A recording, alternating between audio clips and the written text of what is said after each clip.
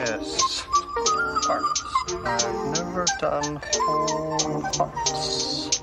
I'm Well, they take little tiny pieces. There won't even be a scar. I think I found the problem. Oh, come on, you're the doctor. Everyone, lights out and quiet. I'm a Derek, and Derek's don't podcast. I'm um What do you think of that? Is that good? Was that anything? I was ra- I was racking my brain. I was like, are there good quotes in Bad Taste? It's, it's not. It's not a, That's a a good- movie you a watch for dialogue. I guess there's like, tomorrow we're podcasting you for lunch. Yeah, Or uh, uh, what are you dirty who is doing on my podcast? I just remember lots of vomit and brain noises. Lots of vomit, yeah. So uh, yeah, hard to Oh God, re- yeah. replicate that with with, Yeah. my, with a quote. Uh, but I'm Colonel Sanders from space, um, and uh, and of, uh, of course we uh, we have our third man here uh, joining us virtually. Zach. I'm Zach. I'm Zach. That's it. That's all it is today. Uh, I am Lord Crumb, but you can call me Danny. And this is a show called Media Morgue, where movies come to be examined. Indeed. Sometimes they get, you know, revived, or, or- or Yeah, what's just- the word? Yeah, uh, what did you do? Chopped and screwed. Uh, Yeah, dissected, chopped, chopped and screwed, dissected, and sometimes, sometimes they stay buried. Uh, today we're doing a special, if you will, on uh, first movies. Yeah, Uh, we're sort talking- of a holdover actually from October, from the Sure, from the yeah, yeah, Halloween yeah. season. Yeah, with both of these. We're talking about the uh, Kiwi Splatterfest that is Bad Taste, and then Mm-hmm. we're following it up with American Movie, which is, in my opinion, maybe the greatest American indie of the 1990s. I Mm. mean, it's up there. Uh, so I I want to open this up first. Where we're going to start with Bad Taste, a movie that means a lot to me, Mm. just because uh, when I was at the age where I saw this, I was kind of obsessed with watching filmmakers' first movies. yeah. What do they look like? I mean, what does Gus Van Sant's first movie look like? What does Sergio Leone's first movie look like? Is Yeah. it crude? In this case, it's very crude. and you know what makes a great first movie? You know, what are the great ones?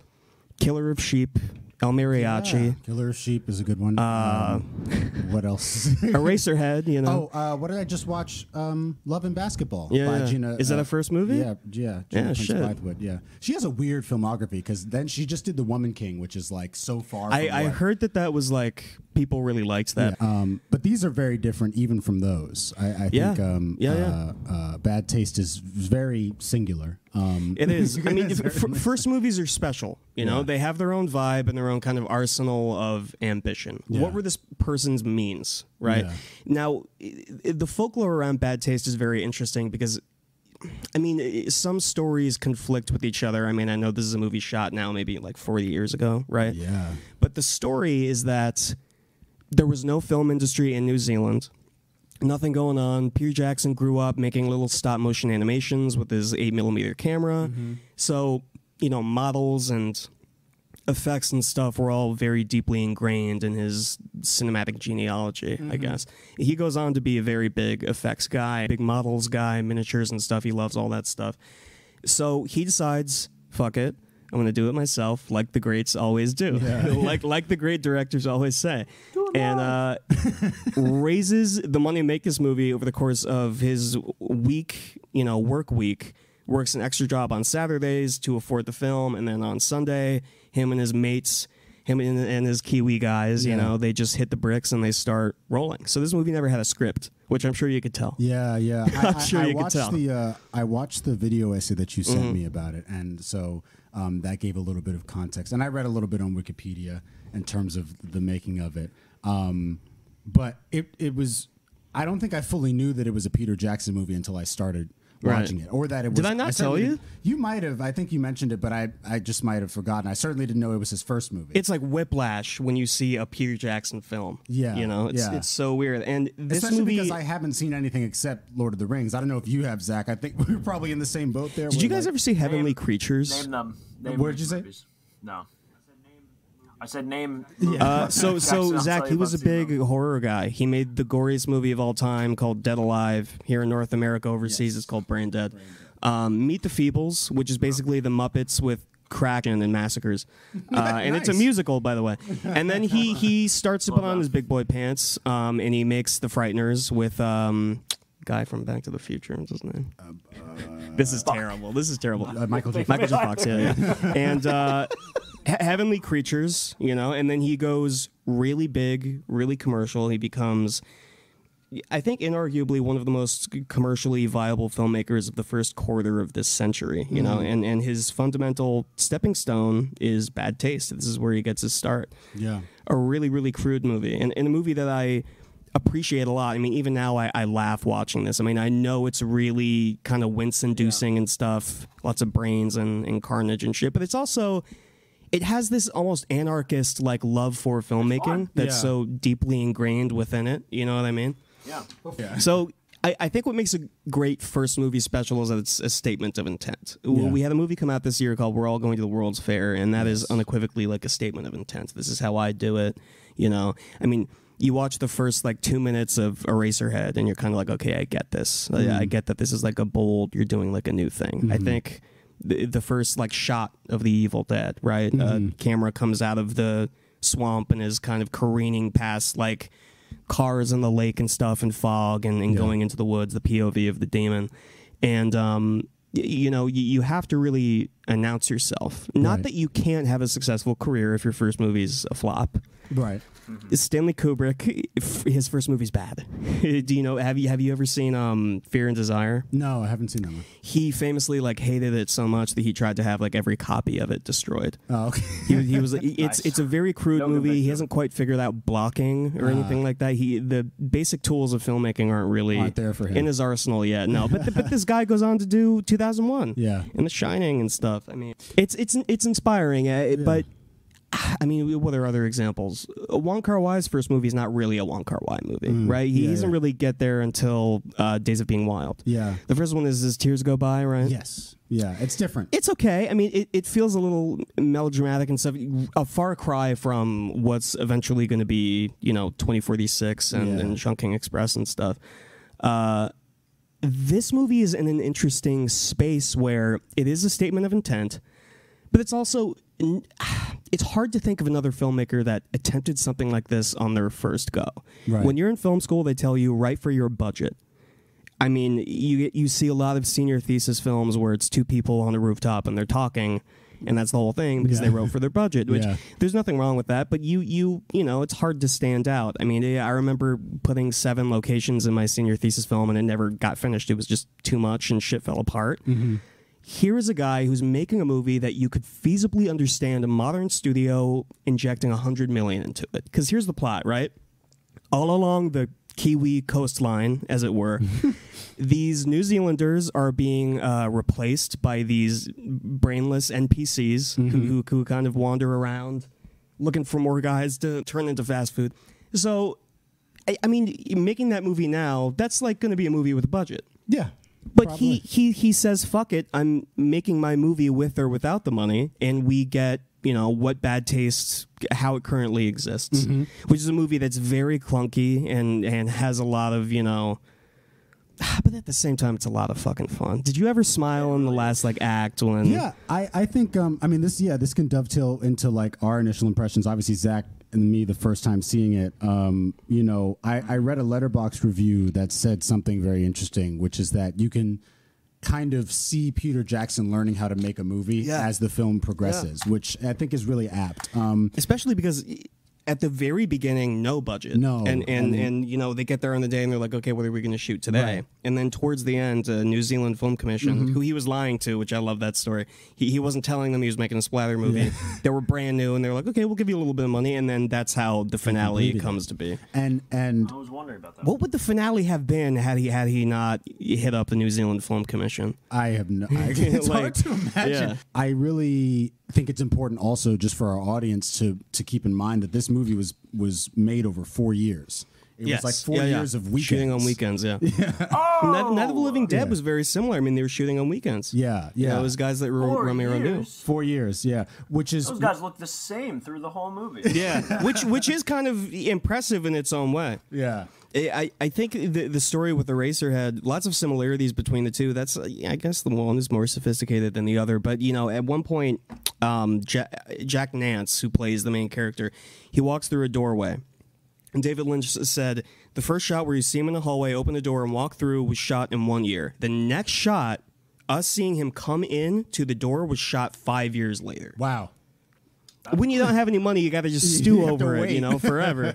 You just have to wait. Yeah, I, I Crushing think, and um, inspiring. To that point, and I'm, I'm curious how you felt about it too, Zach. But when I, I think my appreciation and for the movie also increased with the runtime, right? Because Yeah. by the, by the third act, where where it's just like it's basically like Doom, and they're running around like Mm-hmm. Yeah, yeah, yeah. shooting like aliens. Um, I was like, okay, this is fun. But getting to that point, it was it was testing me a bit. Yeah.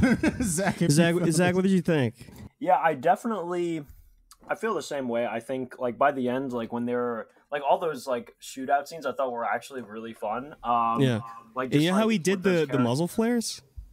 No, how No, did how? He uh he was taking the actual negative and so he he had made the his own guns and props and stuff of pipes and things like that and he had been taking a pencil and poking holes in the negative so that when it ran through the projector the light shining through made it look like there were muzzle flares on the gun. Oh, that's sick. Yeah, very very cool. Do it yourself, make your own damn movie. Yeah. so I thought the ending, like the the shootout scenes, were a lot of fun. But I also like appreciated um, Derek's whole like sequence, like when Mm-hmm. he like before he like takes that that Peter Jackson uh, like tumble off that cliff. Yeah, yeah, yeah. Like I just thought that scene was like a lot of fun, and I He's just wasn't fantastic. expecting to be. Yeah, I just wasn't expecting to be that engaged in that. You know what I mean? Like I was like, what yeah the fuck It- is and, this? and it's, it's then- also it's like that feels so improvisational i mean all the little the hammers hitting each other and the guys getting knocked back and Yeah. stuff like it, it's Good weird detail. to think of it as peter jackson ever being this improvisational guy right? I- yeah. lord of the rings is so choreographed? choreographed prim and proper. I mean y- y- by that point he's kind of a well-oiled machine. He knows how to work with actors. They're not his buddies anymore. Here's your mark. Right. you're going to enter from here. These are your ones etc., cetera et cetera. And bad taste comparatively it's it's anarchy. It's it's it's total it's an anarchist film. I uh I actually I don't know if I'm like the the donkey of the day for this. I did not realize that um Peter Jackson was playing the first was. Derek. He was he's also playing the I knew, he, alien I knew he was the alien the- yeah. because I'm I'm used to him with the beard. Yeah. When he didn't have the beard, I didn't know who that man was. Wait, he was who? he was the guy with the Gryffindor scarf. He was uh, uh Derek. Is that his name? derek yeah The guy who who No, I knew he was. Okay, He's also Actually, the let me- let me- alien, Zach, that's hanging off of the side of the cliff that he's interrogating Oh, that- with the sword and the shoe. That yeah. Yeah. Okay, that's okay. So here's my thing. The whole time, I never really honestly knew what Peter Jackson looked like. Yeah, so yeah, when yeah. uh when when what was his name Barry? Is that one of the characters? Maybe. Probably. The the Barry, the one that like he he's like walking around. He has the revolver. He shoots the dude's head off. Sure, sure. Right, that guy. So when he walked on, I was like, "There's Peter Jackson." So the whole Yeah, yeah, movie, I was like, "This is Peter Jackson," and I was like, "Let me actually just." And so like I Oh, that it was showed. Pete, Pete O'Hearn. yeah, Peter O'Hearn. Uh, he died Peter of O'Hearn. uh, cancer, I believe. oh, pretty yeah. sure. Yeah, he Oh. played Barry. That guy. Yeah, so so when they showed his face with the name Peter O'Hearn under it, I was like, and so then it came back to like Derek, and I was like, D- like because I I had a love hate relationship with Derek. Like when he Oh, was I think revived, I he's was so like, what the fucking fuck? funny, man. He, he's He is, no, he's- he is. But sometimes I wanted him dead. Sure, sure. And you, you kind of get your wish, and then you see him stumble back out of the out of the grave like a phoenix from the ashes. I ashes, wanna know- jamming brains into his own skull. That was really. Was he turned into an alien? Is that what happened to No, him? I don't think so. Well, he he He jumped. just literally into- survived. Oh man, that's what I should have said at the beginning. I, I'm born again. when he chainsaws the fucking. How can I plug podcasts into that? I'm podcast again. Ah, that wouldn't have worked. no. Whatever. No, you're but good. but that that fucking final shot is so funny. It- him inside of the Lord Crumb and having the Horrifying. chainsaw as he takes off into space. I mean, what a way to announce yourself as a filmmaker. yeah i um it also it this movie really i think tested the limits of like my gross out um sure, sure. uh capability The vomit is the rough. fucking man. the green fucking Yeah, vomit. it's rough. It's so Fucking- rough. I se- forgot just how rough every that other was. se- it's like yeah and like people are just sucking on it. I'm like, fuck it. It's like steaming. because the thing Tomorrow is like, we're getting off this shitty planet. i just watched evil dead 2 right Sure. and that has a lot of like gross stuff but it all felt like it was tied into the Th- story This is nasty, way nastier. Oh, it is, it than is. any Evil Dead. It, it certainly is because uh, I guess because of how like I don't know intimate it all feels. Sure. like like like you So know gross. the brain digging through someone else's brain to He's put it putting in someone own else's brain into your fucking head. and yeah. then yeah, the sound like the sound design is really Should be, unsettling. the sound designer should be in jail. the fact that he upchucks and it's Sure. steaming. It's I've And never. there's there's steam coming off of it. you yeah. can't like I obviously don't film want it. does not capture the sense of smell, but I really felt like it was Sure. getting close with this one. Yeah, I know it smelled crazy in there.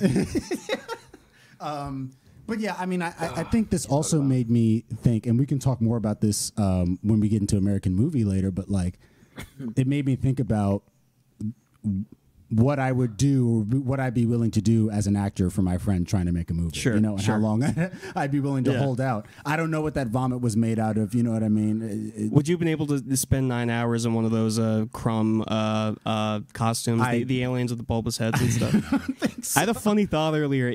I I thought like, what if like Media Morgue um, became as big of an, an enterprise to where like we were creating thumbnails like for each of the episodes. So for bad taste, it would have been you know.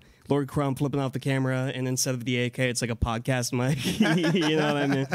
four of them and just Great yeah, yeah. poster. It is a Fucking great so poster. good. I would have loved to have that on my wall as a it kid. kind of threw me because I expected the movie to be like, I guess more of like a you know Martian men walking Sure, around sure, the sure. world and like taking over. I didn't Yeah. know that. I it think was if you gonna get the money from the get go, they would have had the costumes the whole time. Yeah. Instead of just the last 20 Yeah. minutes, they all yeah, look like that. I didn't know. I didn't expect um, it to be this sort of uh, almost like espionage sort of situation. sure. right. Uh, invading the uh, yeah. Crumb base, as it were. Yeah. Which is fu- which is funny. Uh, I wonder if if he ever were to do a sequel to this, if that would have been if the lore would have been like their ships can take the form of like any housing construct from any planet, like including like strange, like Victorian countryside looking. I mean, how do you even describe that house? Right. Seeing that thing take off and That was go into amazing. spaces, yeah, it's very I, cool. I was really looking cool. at that, and I, and I, I, by this point, I just watching the movie, I didn't realize that um, his budget increased over the course of making the film. Yeah. So I was like, "How is he doing this?" Right, I was like, where was that? Where's that money? Where was that money in the beginning of the movie? like, I didn't expect it. When it all of a sudden lifted off, I was like, I was so certain it was just gonna be reaction shot, like looking up, Yeah, looking yeah, up, looking Yeah. up. But all of a sudden, it fucking took off. it's and I a very like, convincing miniature. It is. The miniature looks It's great. really good. And I think what It's really sells good. it is well, obviously part of what sells is that you don't ever really see the actors in frame with it. Of Sure, course, otherwise sure. the illusion would be broken. But um, there's a lot of ways that it gets super close to it. Yeah. Like when you see them being the one guy being dragged I, underneath. that is so backyard Yes. movie. Yeah. like him crawling on the uh, on the grass patch trying to get off. Yeah. yeah, You can just The, see them uh, like laughing behind the camera. Apparently, the the last moment there with the uh, the sheep that gets obliterated by the Fucking love bazooka that, by the way. was was Unfortunate. was the last vestige of of a, c- a joke that he had cut out of the film. So he wanted there to be this running gag where there was a sheep like chasing uh, the- Weird. The, boys throughout the movie. And then he realized that number one, I have no money. Number two, animals are impossible to work with on our movies, Yeah. and they derail productions all the time. yeah, so I'll just um I'll just, I'll just kill this thing. Yeah, fuck Blow it up. And also the the rocket, amazing shot, reverse shot where. I love I love the sight gag where where Derek kind of chainsaws his own silhouette and then steps through it. Yeah. looks really mm. cool. But then when he's about to take on Lord Crumb, and I think it's Barry who shoots the rocket through. Yes.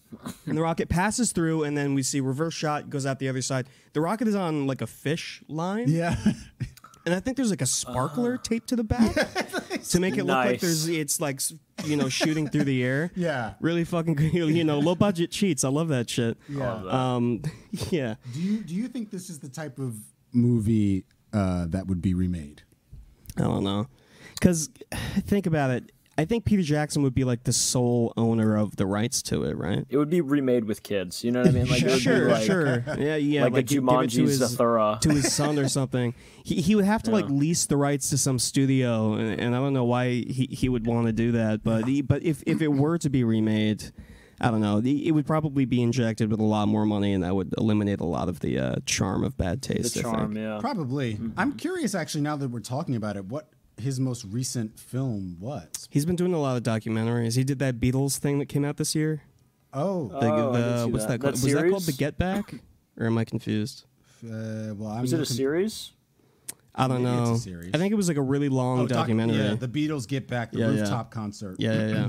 Mm, oh, okay. he had been remastering all that footage, and he said that he's gonna re-release all of his his naughty movies, he calls them, uh, and scan them all in 4K, he, uh, including Dead Alive, uh, Bad Taste, Meet the Feebles, and I think he's including Heavenly Creatures in that. In that, um, Well, yeah, you know, it's so interesting because I it, it's Peter Jackson before today is a director who I'd always put more thematically in line with like Steven Spielberg. Sure. He seems like the, The- type of a guy, big that, guy, yeah, yeah. that you get when you need an event film mm. because and that and- Yes. and, so it's like he's done you know Tintin he did the last thing he did was Mortal Engines he's been Sure. doing those Hobbit movies oh, District Nine King Kong Yeah, yeah, so yeah. it's like obviously he's he's done all that I saw a comment on a on I think on the Royal Ocean film Sure. video, which is like I'd love to see Peter Jackson come back to his Yes. roots in this, Yes. and and and and make another horror movie, um, or or Yeah. whether it's a horror or just a splatter, you know, comedy or Mm-hmm. whatever it is. Um, and it's like, yeah, what would that look like now? He's got, Yeah. I mean, he's got all the pull in the world. I I I, th- I think about it a lot. I mean, so many of my favorite filmmakers start as these like scrappy little little indie guys who who love their their blood and the hammy performances from their friends and stuff, and it's so charming to watch. I mean, I think if he were to come back to this now, he probably wouldn't be able to help. Putting an A-lister in it and, and kind of you know su- sucking out the fun. May- maybe Chris he gets Pratt. why it's a, A Chris success. Pratt. sure, sure. M- maybe he gets why people like it, and he would just try and go back and, and do a scrappy thing with his friends again. I mean, who knows? I mean, he could finance this now on his own and and shoot it in like a month. You know? Yeah, I don't. I, I don't imagine that he's a director who really has to suffer a lot of um, pressure from like studio Sure, execs who are sure. telling him to. I think it. he's made his money. He he has a Yeah. best director Oscar. Uh, Yeah.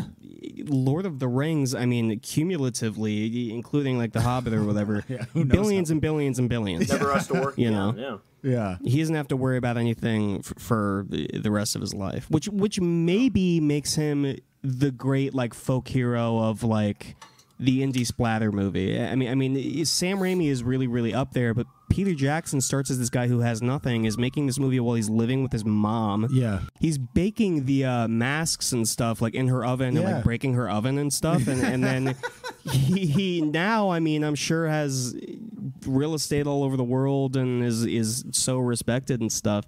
He he is it probably more of a household name than Raimi is, right? Oh, I think so. Yeah. I think so. And and and uh, speaking of the mask, just real quick about that. You, if this movie hadn't been made this way at that time and they like somehow it got made today, I I can't imagine that they would have come up with a design as creative I lo- I what love the Peter way they Jackson look. develops. yeah. So good. It would have been CG from first of Prom all, army. I love that their ass cheeks are That's what I'm bulging out of their fucking pants and the shoulder pads and Yeah. stuff. It's great. was- and that they're all like hunched and they just look fucked. They look like an alien race that's been eating fast food. Yeah, Yeah. They look like Yeah. chicken nuggets. It's like really, really chicken good. Chicken nuggets. Um, yeah, this is more effective to me than uh, I, I remember in middle school. They made us watch Super Size Me. Sure, uh, sure. This is a hundred times more effective Oh, yeah. God, than yeah. that than that documentary was. I watched that documentary and went to McDonald's later that day. but Wow, this- you learned nothing, Justin. I did. I didn't care, but this made me think. You know, maybe. Fast food's kind of nasty, off. you know.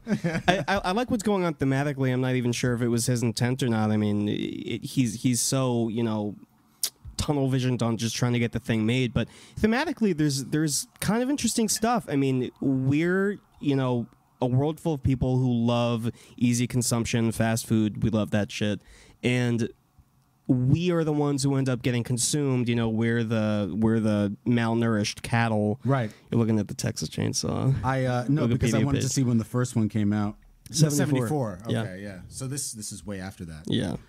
Similar. Well, yeah, I guess. Yeah, yeah, thematically, I guess. Yeah, it's you know. Shout out uh, my favorite Hooper? moment uh, is when uh, yeah no shout out my favorite moment is when uh, Barry Peter O'Hearn uh, is like gearing up to stab that one alien with a pitchfork in the shed and he like Mm-hmm. yeah, he lunges out yeah. but it gets stuck it's great the door just closes and he's like god damn it I, I uh, speaking of gags, moment. a gag I fucking love in this movie, and it used to kill me when I was a kid, and I watched it again, and and it killed me again. I mean, it's Peter Jackson is playing one of the aliens, and the bigger alien, the guy in the cook uniform, who the first time we see him, it's it's a callback to Texas Chainsaw Massacre. Oh. because he opens the door and he's Oh, in the cook yeah. outfit Yes. with the meat hammer, and he And meat hammers. Yeah, the, yeah, yeah. What's that guy? Oh, I guess that's he's like a health inspector Just or some whatever. dude, yeah. Yeah. Um. So that guy is is doing the famous, you know, we're gonna kill you thing with Yeah. the finger on the throat, and then Peter Jackson, the alien, is trying to mimic him, and so he's doing the we're gonna kill you, but then he actually slices his throat. His throat. it's the funniest fucking thing ever. I, I don't know why it's so funny, but it's it's funnier than shit I've seen in like any movie in the last ten years. I don't So know. It really made me laugh. Yeah, it's. Uh, I, I I looked at this and I also felt um, there was a lot of probable influence on like Men in Black. Maybe, in yeah. terms of like the Hmm. It was a cult s- hit. the silliness of aliens. Like they're not really a threat; they're a nuisance. You know, uh, Yeah. it's kind of Oh, yeah. the sense that I got. And like, Yeah. yeah, the sound design also on the aliens, like just the sounds they fucking make. Like, but they're Did human. guys Like know- Men in Black does that a lot. Yeah. Do you guys know what the sitcom is? Is it the Brady Bunch where the, the last shot is like it's their house and all the kids are like in their rooms and they go, Good night, so and so. Oh, yes, yes, yes. And the lights turn Good night, off. Is that Brady yeah. Bunch? Yeah, yeah. I liked how, I- how the I aliens fucking- were doing that. Uh, Oh, yeah, they were. Talking So about. funny. A little sitcom callback. Yeah. That was great. They were. That was great. um, Yeah, this. Um, I mean, you know, like I said, I think by the end of it, first of all, I was so like just thrown by the whole thing. Sure. But I was genuinely in the watching of it. I was enjoying it by the Yeah. end. Um, uh, although Yeah. there was definitely a point, like when uh, when Derek falls down with the chainsaw onto Lord Crumb. Yeah. I was like, "Is Oh this my done God. yet?" Like he keeps like That went on for forever. I'm Is born it- again. Is it over yet? I, maybe that's like he wrote that part for himself because he just couldn't imagine getting one of his friends to do that. Yeah. Completely Right. head to toe in gore. Yeah. And Karo syrup or whatever it was that they were using. Yeah. Has Sam Raimi ever inserted himself into one of his films like that? Uh, he's the he's the knight at the end of Evil Dead 2 who goes, Hail he who has come from the skies to deliver us from the terrors of the. Deadites, and they all go, Hail, hail. but he's never been Um, like. he's in a bunch of Coen Brothers movies. He he cameos in a bunch of Coen's movies. He's in uh, Miller's Crossing and Bruce Campbell's in Fargo, and uh, you know because they were all roommates and stuff. So. Right, right. Um, That's fun. But yeah, I mean, I would have loved to see Peter Jackson try and try and. He's funny. I mean, I don't know. I, I know he's not like an actor actor, but I would have loved to see him in more goofy stuff. He's he's a silly motherfucker. yeah. Well, I mean, when you You went for it. yeah, you only know. have uh, two Kiwi directors to really compare uh, Sure. him and Taika Waititi, Yeah, yeah. Who, who have reached Yeah. you know worldwide acclaim. And, and what's funny is so much stuff gets shot in New Zealand. They're really Yeah. tax friendly. Bad Taste being the first movie to ever be shot or funded in New Zealand. Yeah, and they- Historically significant, whether you like it or not. not and it's uh not only the taxes which I didn't even know about, but I imagine just the the locale. It's a beautiful yeah. looking place. Oh, when when Derek is hanging is. off of that cliff, I mean, even you know the, the cut on Tubi is really bad. I have to say, to, the Tubi cut is like really hazy. Mm. Um, but when he's hazy, what the fuck? when he when he's hanging off of that cliff and the camera kind of goes over and you see Yeah. like the the coast Yeah. you know it's it's like beautiful. a gorgeous shot yeah, and it's like this is just where he was living like He he's living in the most accidentally- beautiful fucking place ever Yeah. where no one had shot a movie like what the fuck Yeah, he really did open uh, the doorway to that, and Yeah. then got to. I saw this other letter uh, Letterboxd review that was like, um, I love the idea that there was a. The, the Tolkien estate had to watch this movie Yeah, when yeah, yeah. deciding whether or not Yeah, yeah. to uh, to let him direct uh, the Lord of the Rings. Just a hundred year old men shifting, watching the vomits. Yeah, in their tweed suits. when did J.R.R. Tolkien pass? Do we know? Was it? Was it? even? I mean, was it the last? Probably, maybe the seventies, right? Seventy three. Seventy three. There you go. So I, I wonder. I- I also wonder what he would have even thought about, you know, the adaptation of Lord of the Rings. I mean, because Peter Jackson, for as crude as his work was, I mean, they obviously made the right choice. Those movies are perfect. They're amazing. Yeah, They, Yeah. they, they really Yeah. get every detail of the books, and they're all like Mm-hmm. four hours. But it's because he's devoted to that material. You yeah, know? yeah, Yeah. And, and it's and it's interesting also because that I've seen those those movies. I I only saw like the first Hobbit movie. Uh, It's the same. I didn't watch yeah, the, the but, follow ups. But I I, haven't seen any of I. I grew up watching, you know, the original Lord of the Rings movies, Yeah, yeah. uh, but not the director's cut. The point just being that like Return of the King used to make me just cry. it's for like crazy an hour good straight. and and but and even though i'm i'm not like a super lord of the rings fan Sure. um i still definitely do respect those movies I, and it's, still like Yeah. look at all this shit Yeah. look at all of these sets look at all of these miniatures and models and like all these costumes and stuff and you know The music, the, the- early the age of that yeah. cg is like crazy yeah um yeah it does it has great fucking performances i mean all around from everybody he he really hit the ball out of the fucking park yeah yeah which makes I think bad taste essential viewing. You, you, you got to see where a guy like that starts and, and where his head's Mm-hmm. at when he's at the age that we are. You know what I mean? Yeah. I had um a film professor named uh, Greg Takides, and he taught me a course called Aesthetics of Directing, and, and he was incredible. And th- thinking about this, I mean, it, it, you know, it gets me tearing up and stuff. But he said one time, he was like, I don't care if the only camera you've ever held is on your iPhone. If you have a brain in your head, you'll figure out how to do it. If you have a heart in your chest, you will do it. Make your own damn movie. It was right after we had watched uh, Tangerine, uh, which which is a micro budget thing that Sean Baker, you know, filmed with an iPhone. Um, and that always stuck with me. It's it's like th- these guys who just go out and do it when they're when they're kids and they have nothing to lose. You know, there's nothing more commendable than that. There's nothing I respect more. You know, it's so fucking hard. And Yeah. this this is a perfect kind of segue, I guess, into the life and times of Mark Borchardt. Um, but it's it takes years, and you you fry your relationships with people. You burn bridges, and you burn all your cash.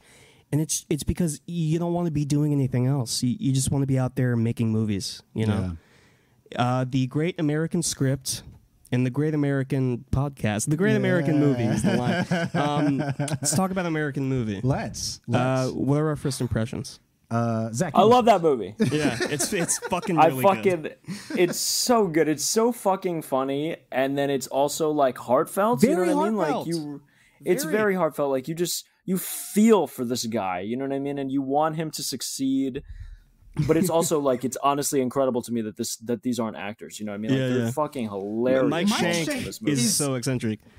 That's a rest, real rest in peace, by the way. He actually just Oh. passed like a month ago. Oh wow. Yeah. Okay. Do you remember I yeah. s- I sent You that to the- yeah yeah. yeah yeah yeah. yeah. I, I, I want to say one thing really quick while it's still on my brain. I, I watched it again last night. I, I've seen it, it- it- Last night, I think was my fourth time seeing it. There's a scene on Thanksgiving where Mark Borchardt is like clearly drunk and he doesn't have a shirt on.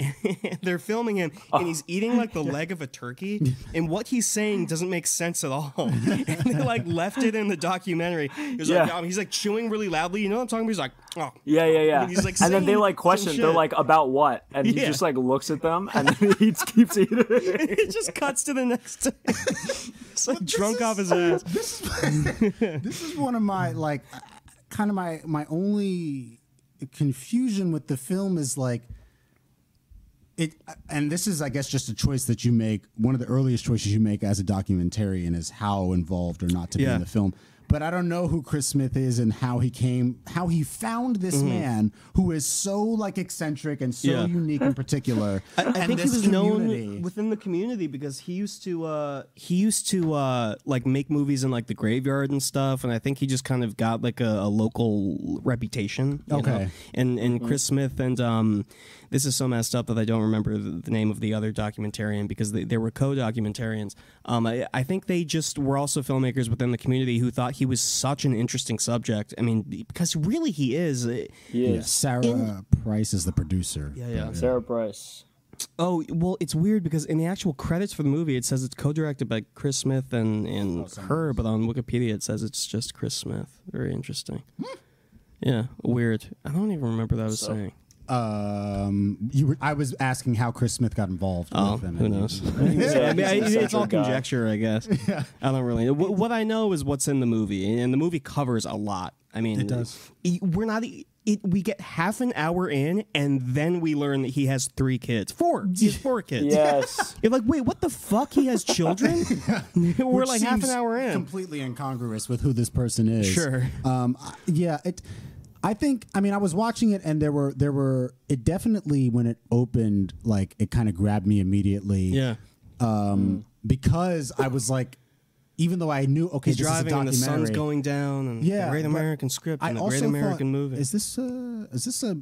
Is this a mockumentary? And like, Yeah, and yeah, even yeah. That's what before I Mike said, Shank- bro. Even before Sure. Mike Shank showed up, I was like, "Is this like, hi- is it? A, is it one of those early like examples Sure. of making a movie about it?" But no, these are real people. Yeah. Which, like, I guess that speaks to like when It's you such when a you go Midwest out to- when you you go out know? to the middle of nowhere, where these, you know what I mean, where these people Those- I mean, have nothing even- but each other.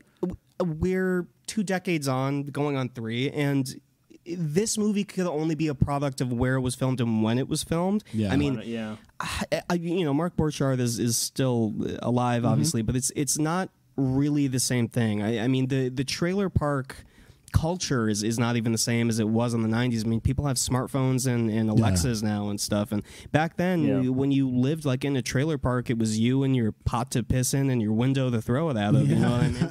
The only thing I can think of that remind that this reminded me of a little bit, or that reminds me of this, vice versa, was Nomadland. Sure, sure. I didn't see them. But you know, just in terms of, I mean, that's like people intentionally choosing, Mm-hmm. or maybe even not, but circumstances of life, they choose a nomadic lifestyle. yeah. This is just people who are, you know, Sure. middle class to low Just middle where they're class. at. And, and it, Yeah. it, it really makes sense. Like this middle class guy who's who's not inspired by Hollywood movies. There's a part um, where they ask him what movies inspired you, and he says Night of the Living Dead, Dawn of the Dead, Texas Chainsaw Massacre. And when I went to see this at Metrograph, people laughed. You know, it's like look at this fucking hick, look at this mm. working class guy. Like he's know what he's talking about. W- watch real movies. You know what I mean?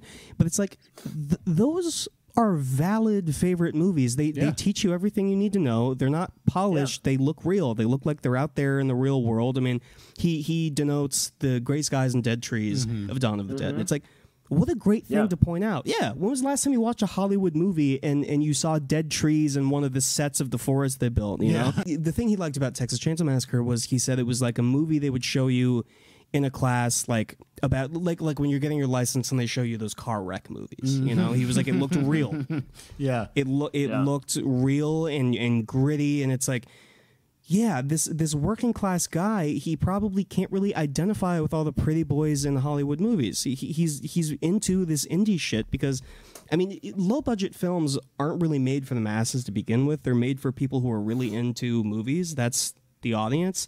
He has his camera and his friends and he's he's decided I'm I'm making my movie Yeah. you know? I uh Yep.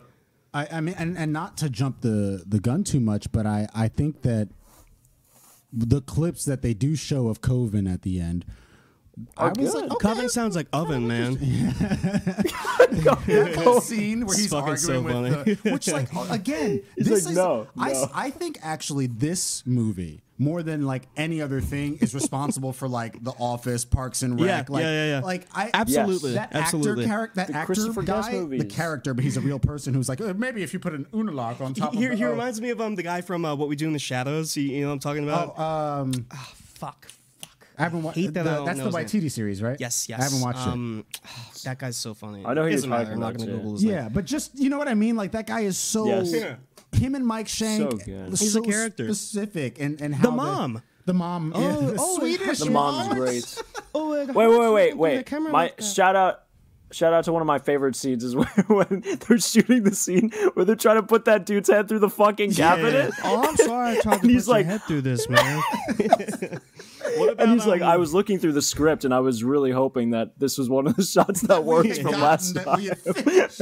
um, what about when he's trying to get Bill to say, um, it's all right, it's okay, there's something to live for. Jesus told me so. All right, Bill, give it all you got. Take 59. This is for the birds. take I mean, we're, we're done here. I'm, I'm not doing anymore. Like they didn't even get it. like And he's like, out there all day fucking filming the Christ. one line. It's all right. It's okay. Sometimes, um, Jesus told me so. Oh my god, that was the cut. The cut from take 15 to take 30 to back to back. No, it was. it's really like the, the. It's a masterpiece of editing because Sure, there yeah. is- It there's so much stuff. Um, what I was gonna say is that the the clips that we see of Coven actually do look kind of Yeah. dope, and they do look. I've in watched line it with- before. It looks good. They do look in line with Yeah. Night of the Living Dead and and spooky. and, Coven's, and that Coven's stuff. got great atmosphere. I love that shot of him running, and then and then it's Yeah, yeah. that super wide of him. Coming Yes. towards And he was right about the scarecrows. He was right. That Yeah. shot They of were him great. explaining it to Mike. Mike, it's gonna be like, "Whoa, do you get it?" And and you're like laughing at him because it's still early in the movie. You think he's a silly motherfucker. Then you watch the movie and it's like, "Yo, he was right. Yeah. that's a great Yeah. atmospheric shot." Uh, It Mike, is. Can you make sure everyone has brown gloves? Is Hey, does everyone everybody- no, dude, dude, dude. no, dude. I fucking love Mike Shank. He's so earnest. He. He's like, um, when you play the lottery, sometimes you, you win and sometimes you lose, you know. But if you do drugs and alcohol, you know, you, you, al- you always lose. How can you not love him? Man? No, he He's was he so was great, good. and I and I loved that his uh, his little guitar riffs were the Yeah. score for Yeah, the, yeah, yeah. Oh yeah, For the film. They, they, that was perfect For as, atmosphere for as for that. eccentric as everybody is, it, like it's a good showcase of like everybody's talent. He gets to score the movie, and Yeah. and Yeah. you know Mark Borchardt makes something that's atmospheric, and he actually gets it to play, Yeah. and the audience seems to really like it. You know, Now, did he? Yeah. Uh, the, Shut- the, it sounded like Mike Shank just then. You know, the other funny thing is that, of course, when the film starts, he's trying to finish uh, Northwestern. Northwestern. Western. So he has to go and finish Coven to get. That was another thing I really related to. It's like I have so many projects I started and like shot so much shit from and like never finished. You know? Yeah. Well, this is Yeah. also Stuff I, up. it, it occurred to me while I was watching American Movie, like why you felt strongly about bringing it on the show, given like what's going on with you and Yeah. your own most recent your thesis that didn't get finished, Yeah. and it's like, and then also knowing like obviously the story of uh, bad taste. I wonder. I guess this is kind of- kind of almost a question for you, like. I'm sure it changes day to day, but do, do you feel like you have an amount of hope that like it will be finished and that it's going to take? I know that my future is in filmmaking. Here's Oh, well, the thing. yeah, yeah. When when I first started like really PAing, I had a conversation with one of these guys, and he was like, uh, well, I asked him, will my PA credits be like accumulated anywhere? Are people taking notes of how many days I've worked as a PA? He's like, why do you want to be in the DGA, the the Directors Mm-hmm. Guild of uh, America? And I was like, how many days as a PA do you have to work to be cons- to be a member to even apply to be in the DGA? He said 500. wow. I will be goddamned if I work 500 days as a fucking PA, getting coffee for motherfuckers and, and having them, you know, leave it somewhere. And then at the end of the day, I, I find the coffee that I got for them that they didn't drink and I'm throwing out and shit. It- be- being a PA makes me want to pull my hair out. It's it's kind of worth it to see how you know you get getting paid for one thing, but to see how a, a big studio like Hulu and Amazon is doing it. There's a million teams there because they have so much money to burn. But uh, I, man, just need to go and, and do it like one of one of these guys. And and this, for as kind of heart wrenching as this movie is, it is also very inspiring. That's I mean, what I wondered. Yeah. one of, one of the reviews on Letterboxd was like, if you can only laugh at Mark Borchardt, that's on you. Hmm. Here's a guy who, who's throwing everything, you know, at it, and, he, and he's going for it. when He's, sick of not doing it. When you he's know? listing his debts, like his credit Yeah. card debts and all his like, I was Oh, like, dude, gee, I got a Mastercard. bastard. Life is kind of cool sometimes. end of all that, he's like, I got a Mastercard. yeah. Yeah, it's um, Well, they're I going love to that take my bastard. Night of the Living Dead book. and, and then yeah, convincing his uncle, who I don't know which Bill? his uncle on what side, yeah, his uncle Bill, but I don't know which Love that guy. side, which you know parent sibling he is, to like to fund this movie, and Yeah. his, his uncle having no earthly idea what he's making. He doesn't know where he is. It, it doesn't have the wherewithal to even like go there and watch the fucking movie. Like, all right, Bill, you ready for movie number two? Yeah, I guess so. like, fuck, man. yeah. uh, yeah, it's it's really uh, this is where like just it, it's commendable on the documentarian's part that he's able to kind of thread this emotional line through of like of of okay this person's origins right like kind of how he grew i mean you have his brothers like talking shit about him for the Yeah, whole- yeah, yeah. Oh my I God. he would have been a stalker, is what one of the brothers said. Yeah, and one of them was like, "I think he'd be best suited just to work in a factory." I'm like, "Eh, "What the fuck?" I was so He's like, protective oh, when over he this man. when he uh, went off to the military, I, I thought that would like you know straighten him out or something to that Yeah. Yeah. something to that effect. At, at one point, they ask his mom if if she thinks he'll be able to like really make movie make movies, and she says no. She's like expensive and time consuming, so uh, I don't really think so. it's so fucking sad. Did he see this at the premiere and see and see that clip the of first I'm time? Oh my god, dude! like He was probably sitting next to her when she fucking recorded that. Like realistically, he was in the room. I also you gotta love that scene where they're watching the uh, the Thanksgiving Day um, uh, football game. Which, by the Yeah. way, hey, happy Classic. Thanksgiving! yeah, happy um, Thanksgiving, pilgrims. Happy Thanksgiving, everybody. and- it's a Thanksgiving movie. Shit. Yeah, yeah, is. it- yeah, Yeah. it is. And he's like cursing up a storm, and his dad like Yeah, pops none- his head none of that language. None of that talk. yeah. He just that- repeats. He's like, "Fuck those You motherfuckers." motherfuckers working in the factory, man. This one's for you, motherfuckers. Like right after his dad told him not to swear. How old do you think he is at that point? Like, like probably thirty, right? Yeah, I assumed he's Yeah. like 29, 30, Yeah, 31 like for, the, Yeah. for the majority of the film. And- Wait, shout out to my other favorite scene is when uh, he's like holding up like a whiteboard of like all these like expenses. And he- and he made, like, a accidentally list, and he's like, erases his- "Fuck all that!" And then he's like, shit, I "I'm sorry for erasing that." all that." I didn't mean to. I didn't mean to do that. Oh my god! I, it's like, this is like a perfect movie. I, I don't know. I mean, I mean, for all like the the rough, you know, documentary stuff where it's like sometimes they'll fade out and, and they'll cut off the subject of the interview and, and Yeah. their words will kind of trail off. You're, "Well, I wanted to hear, you know, the rest the of rest that. of that. for, for all of that, and, and it goes a little bit over long, I guess. But this is like a ten would out of ten movie to me. It strikes a really It- perfect it's so balance of being heart wrenching and funny and uplifting and inspiring and just being a, a unique mm-hmm. way of of capturing Yeah. this mode of doing it. Yeah. When, when you're on a big budget mm-hmm. set, you pay a BTS person to follow people mm-hmm. around with cameras, do little interviews, get photos and stuff. But there's hardly ever. I mean, there's like four or five behind the scenes pictures from like the Blair Witch Project. Yeah. You know, th- there's like zero for El Mariachi and, and all these like, you know, movies that might zero budget movies that people tout is like really being important American cinema.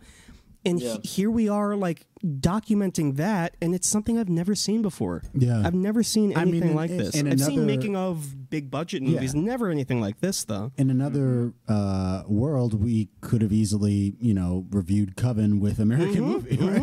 Uh, uh, Coven, or, yeah. or or Northwestern if he ever finished it. I don't know if he did. He he actually did do a feature at one point, but it's not called Northwest. It's called something else. Oh yeah, I, and, and you know the other thing that this made me think of is is the patience that it takes to make a documentary, right? Yeah, like yeah. not just to make a narrative. you can make an. American movie about the making of American movie. it could it could always fold in on itself. I, I watched a movie earlier this summer called um, oh boy, I should have looked at the title before. Uh, Symbiotax Symbiopsychotaxiplasm, I think it's called. Okay, yeah.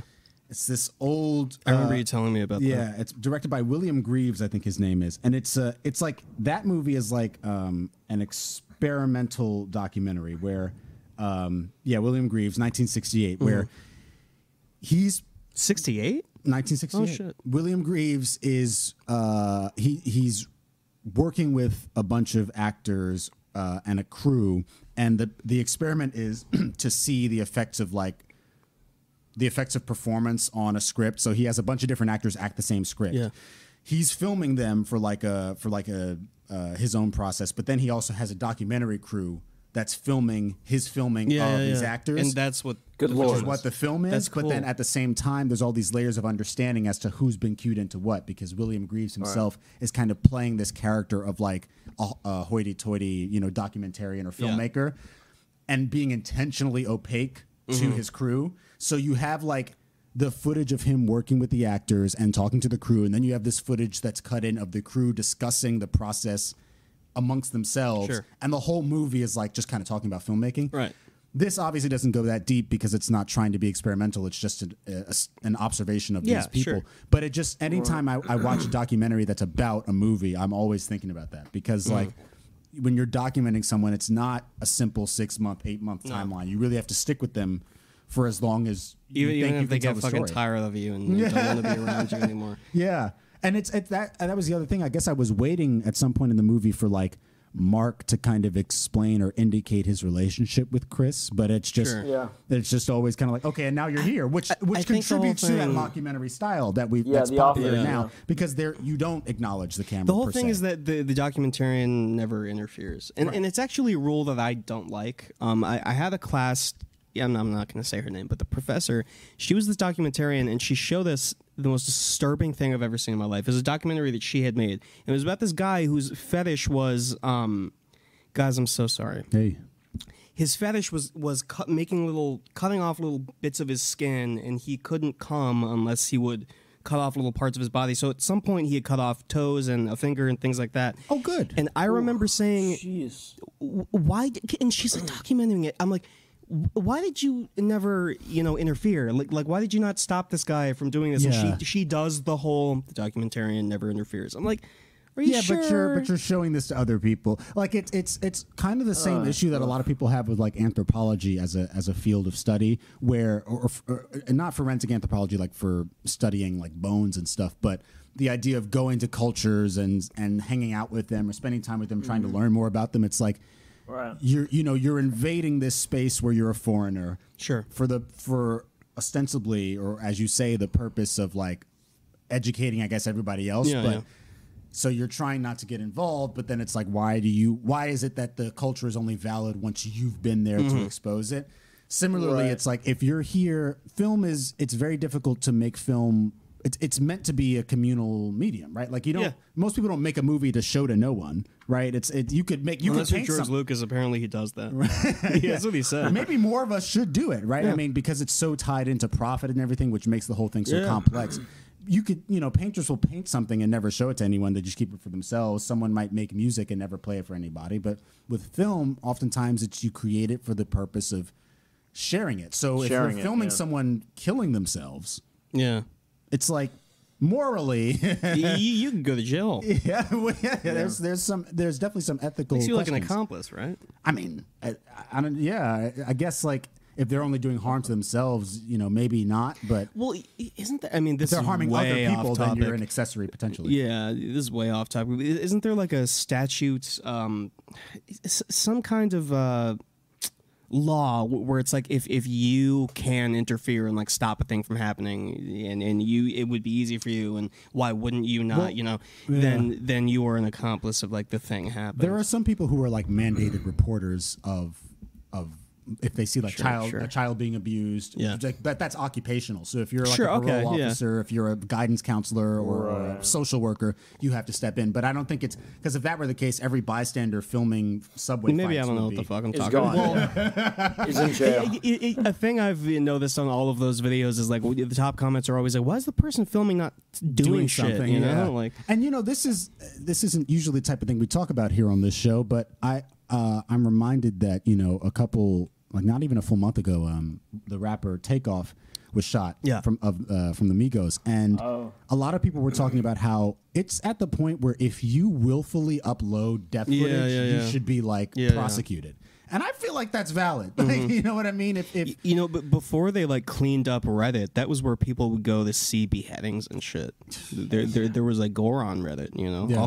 uh, no, but it's the the, in, the internet was like the wild fucking west, Yeah. man. Like un, until shit started to get cracked down. I mean, you know, big organizations buy social media like Reddit, and Yeah. eventually they're like, we gotta scrub this clean. You know, um, I mean, there are YouTube videos that are, that have 17 years posted 17 years ago. Yeah. Uh, because 2005 is when YouTube was founded. It's it's crazy how long. The second YouTube video I ever posted was porn because they didn't have, um, you know, uh, terms and, and Yeah. services yet. Uh, so, so the, fir- the first YouTube video is a guy at the zoo and he's like, "These are the elephants and they have long trunks," and and people are always like, "What's the second YouTube video I ever posted?" And it was lesbian porn. but when YouTube went big, they took it down. You know? Yeah. Oh man. I well, obviously this this movie isn't about the internet. It's very No, no, it's pre-internet. um, but I Very analog movie. Yeah. Both of these are. These Yeah. are So super analog movies. I love Yeah. that. I, I, I, I do think that this was uh this is it's a fun episode. I mean, it's a shame that Wes couldn't join us today because I Yeah, I think you it know, was a loved American movie. yeah, and Yeah. as another He's unprofessional. Let's not talk about him anymore. Yeah, God, God. Uh, as as another uh, up and coming filmmaker, um, it would have been interesting to hear his take. We'll we'll, we'll force him to watch it uh, at some Yeah, point. we will. It's a great think movie. I feel like ba- I was. He watching really Bad has to watch this movie. I was watching Bad Taste. I was like, this could have been a commentary track too. Whenever we Yeah, get around to that. easy, easy. Yeah. Easily. um, uh, but yeah, I mean, I guess we wouldn't necessarily rate these in, in this. Particular I think they're both immortal. I'm just gonna say it. You know, they're they're both important movies. Hmm. They're both entertaining in their own way. But I mean, how can you not be inspired by bad taste if if, if you have any semblance of what it Mm-hmm. takes to make a movie? I mean, American movie, obviously, Hmm. but bad Yeah. taste. It's like every second of that is like, oh my god, like look, at, at him how- go. yeah. you know? Yeah. look at him go. Look at how he did this. Yeah. Um, yeah, I don't know, Zack. Did you have a Did you have a particular rating or Um, final thoughts? Yeah, I could. Uh, yeah, I mean, I'd probably give. I, I I I enjoyed both. I think Bad Taste grew on me as I watched it. I think Mhm. similar to you, Justin. Like I think in the beginning, I was kind of like, "All right, what's going on?" Like I filmed myself just being like, but then eventually by the end, I was like, "That was fun as fuck." Yeah. Um, so I I'd give that um, what the fuck is it? Reanimate, and then Mm. Right. American movie. I actually fucking like love that. Like I, I it's it was so funny. But at the same time, it, yeah, it was heart wrenching, but inspiring in Yes. a in a somber way. You know a what I mean? really Like, hard like- balance to strike. Yeah. There are very Yeah, few you know, you- movies that strike that balance. Exactly. Yeah, and you just see like you know, it's just like these people, and uh, I mean, it, when you're out there in the Midwest, especially in the '90s, it's like there's not a lot that I imagine that you can like that you have, you know, compared Sure. to people that were like, you know, privileged enough to grow up in the city, which is you know, it's a blessing and a curse. But you know, it's just like there's so like you know when when you're a dreamer out there, like Yeah. in wherever they are, like I'm like I have to imagine like how much harder that is, you know, and to see him mm. Yeah. persevere through this shit, it's fucking funny, but it's also like it's like god damn, it's like it's beautiful, you know what I mean? Like I, have lived it's in s- yeah. small towns and, and I've met a lot of like Mark Borchardt like guys, you know, and they mm-hmm. talk Yeah. about the movies that they loved when they were kids and what they would do if they could make a movie. You know what Yeah. I mean? Yeah. I've, I've known. I mean, Mark Mark Borchardt is really indicative of like. Oh, it's gonna make me sad, but he, he he's indicative of, of this culture that I guess never really had the means to do it, but but is so wistful and and so longing to be able to like make those dreams come true. And a lot of those guys burn out. Yeah. Um, it's it's hard to be realistic when when you haven't seen how the industry kind of runs. You know, I mean, always thinking one day I'm going to get my shot, but it's like a lot of it is political. A, a lot of your favorite people who you may not even realize were born into it. Um, yeah. and it sucks, man. But like, they're not all built like Mark Borchardt. You know, I mean, th- th- there's a lot of big budget filmmakers out there who could not do this. He's incredibly endurant. Yeah, uh, or durable. And I think that's one of the things that they that they note. the actor uh, who he gives a concussion with that cabinet door says, uh, like he says of him, like you know, I, the guy is persistent, like he he doesn't quit. And I Yeah. and I and I, you know what you just said, Zack. I I often think, or it just made me think that there are sort of like um, there's like pockets right of um of aspiration where like when you when you're Mm-hmm. outside of America when you come from outside of America a lot of people as we know across the world are just trying to get into where we are yeah. right and then when you're inside America not everywhere has the same level of access or economic stability or whatever so you're living in the Midwest in the 90s and you're like well I don't have the money to Yeah. move to LA this actually kind of fucking sucks. yeah, or or to go to New York or to do Broadway. You know, it, was, it was a lot more like um, sort of uh, there was a starker contrast Yes, between the yeah. East and West Coast back then. Point just being that it does, I think, fuel that motivation to see Mark, you know, beat the haters Succeed, and yeah. to make something of himself. Do his fucking movie, man. yeah, and Yeah. um, I'll be goddamned if I don't get my American dream. yeah, I, it, it also made me think, Zack, who's that guy? Um, he has that series on Netflix where he's like he pretends to be a document. He like he does like uh, social experiments. Nathan Fielder. Nathan Fielder. Oh, yeah. yeah, yeah, yeah. Have Yeah, you watched Nathan for You? and I stuff? haven't, Oh but my I know that God, you two would like him. Love it. you would love Nathan for Yeah, You. and this made me. It makes sense to me rather that that uh, you specifically, Zack, would like this movie so much, given how you sent me a clip from that uh, at least one episode of that uh, series. Oh, this is a, you're talking about a different thing than what I was than what I sent you. What are you talking about?